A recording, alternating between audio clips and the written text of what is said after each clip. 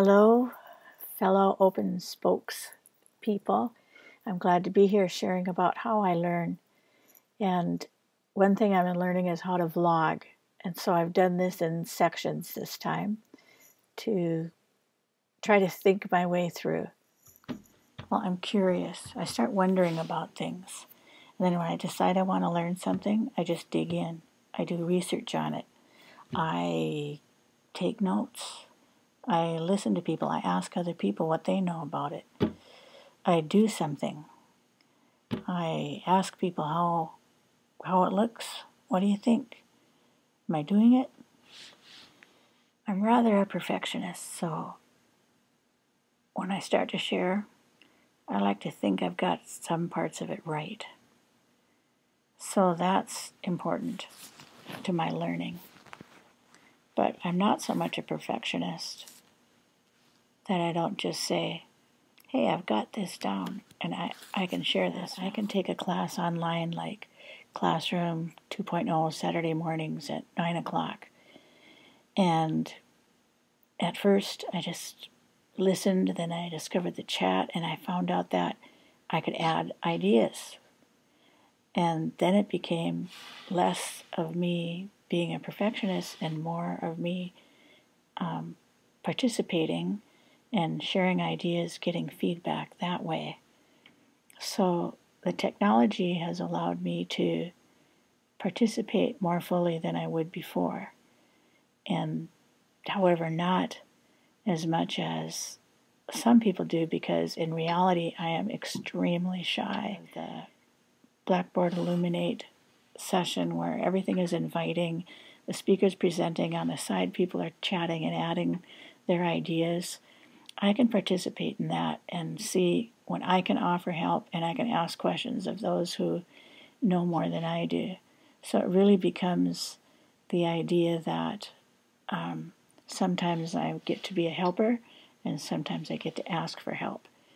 And technology has helped me be a better um, learner.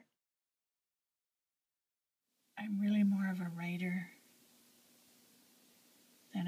vlogger, but writing helps me clarify what I'm thinking and what I'm learning. So that's how I learn. I'm curious. I dive in and find as many resources as I can. I wonder about it. I try to do something with it to make sure I've got it, then I might share.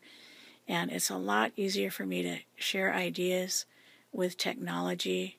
It just seems like you can change it. Like it, it's not like a hard copy all the time. It's something that's a living idea that can change over time. It, no matter what I'm learning, I can become better at it or change the direction. Finally, I'd like to say that how I learn has helped me with my teaching. I've always been very reflective and I've expected that of my students because I'm curious about so many things and learn based on my interests, that has helped me connect with my students and what they're interested in. And now with Genius Hour, that's even a more concrete way to help students engage and learn what they're curious about. I'm able to help my uh, perfectionist students because I have a slight tendency that way. And I also understand the social aspect that learning in a team at school with my colleagues or learning online with others, um, getting that feedback and working together and collaborating really solidifies learning. And I know that I've learned because I whatever it is I want to do, I'm doing it. So it becomes application. And I think that understanding how I learn helps me understand how my students learn. Thank you.